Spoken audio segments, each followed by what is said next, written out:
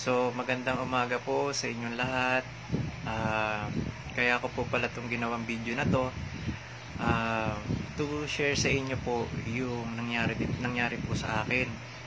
So, para na rin po sa mga COVID patient ngayon na nasa ospital na nagpapagaling po.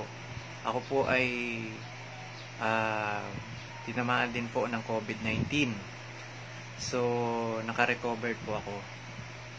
Ah, gusto ko lang i-share sa inyo ano ba yung nangyari sa akin. So, nung no, March 22 po, nilagnat po ako. Ah, 3 days, ah, inom ng gamot. Kaya lang, on and off, 38 po talaga lumalabas. Although wala akong ubo, ah, sipon. Yan, pa isa-isa lang, pero hindi katulad nung talagang ubo ng ubo. Ah, nag-decide ako pumunta ng hospital March 27. So, March 27, ah, kinuhanan ako ng dugo. No, inantay ko yung resulta. Sabi ng doktor, possible na dengue daw ako. Ah, inat kailangan ko i-admit. So, March 27, na-admit po ako, in-x-ray po ako, tapos kinuhanan ako ng mga ah, ng mga test. So, ah, may nakita po dun sa x-ray ko, kaya nag-decide sila ng March 28, kuhanan po ako na ah, ah, COVID test po o yung swab test. So after 3 days, lumabas po yung result. Yun na nga po, ah, nalungkot po ako, nag-positive po ako. Pero sabi nga ng asawa ko pa, ah, laban lang, huwag kang panghihinaan ng loob. So, inisip ko na lang, sabi ko, nga, tama naman yung asawa ko. At, ah, ah, yun nga, ah, habang nagpapagaling, ang second test ko po, ah, nag-positive na naman. Sabi ko, ah, inayaan ko na lang. Ayo, magne-negative din yan. So, ang third test ko, positive na naman. Sabi ko, ano ba ayaw akong lubayan ng COVID? So, ang ginawa ko, nagpalakas po ako. So, ang ginawa ko, pinalakas ko po yung immune system ko. Nilabanan ko po yung virus. So, bukod po doon sa gamot na pinaiinom sa akin ng, ng, ng doktor, eh, may nagpadala po sa akin products. No? So, products po siya ng JC. Ah, yan po, yan po yung nasa likod ko. Ah, Calbitsy po, tsaka Green. Habang sinasabayan ko po yung gamot na binibigay sa akin ng doktor, sinasabayan ko rin po siya na inom na supplement para lumakas po yung baga ko, yung immune system ko lumakas. So, nagpo 4 capsule a day po ako ng Calbitsy. Okay? Para lumakas yung immune system ko. Tapos 4 green po. Ah, yan, nagtatatlong capsule ako para sa baga ako naman.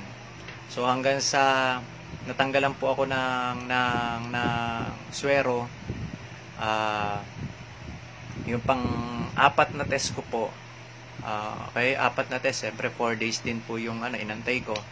So, nag-negative na po ako.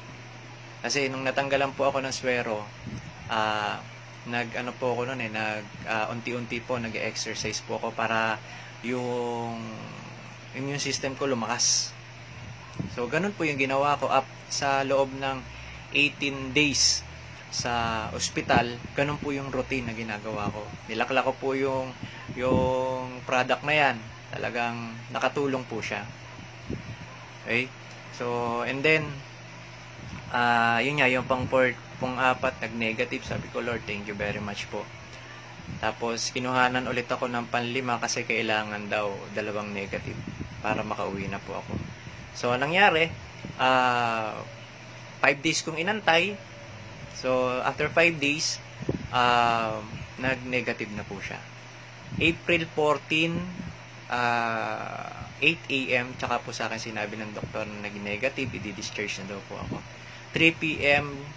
ah, ng April 14, lumabas po ako ng hospital ng masaya at ah, gusto ko lang magpasalamat sa yan pagkakataon ko magpasalamat sa ah, mga nurse mga frontline ang mga frontliners po yung mga doctors po na nag-alaga po sa akin at ah, ah, thank you very much po tapos do sa hospital uh, Binyan Doctors Hospital po thank you ah, thank you very much po Ah, para dun sa mga COVID patient na nasa ospital pa hanggang ngayon, ah, wag po kayo mawalan ng pag-asa. Isipin nyo, gagaling po kayo. Yun na lang po isipin nyo. Na meron kayong pamilyang babalikan. Ah, pag uwi nyo, masaya. So, yun na lang po ang isipin nyo. Na po kayo mag-isip ng iba. Nandyan na yan eh. Dasal, dasal, dasal po. So, yun lang po yung ginawa ko. Ginawa ko tong video na to para ma-inspired po kayo na na magpagaling po kayo. Okay? Akala ko nga po doon ako magbe-birthday sa hospital kasi birthday ko po is April 19. Ang sabi ko nga kay Lord, sabi ko wish ko na lang na sana matapos na to na sa buong mundo na gumaling na po ang lahat ng ng ng ng tao na tinamaan po ng COVID-19 at matapos na bumalik na po sa normal. Yun po yung wish ko sa birthday ko this coming April 19. At ah, salamat po sa pamilya ko, sa mga kaibigan ko na na nagdasal po sa para sa paggaling ko, mabilis na paggaling ko po. Maraming maraming salamat po.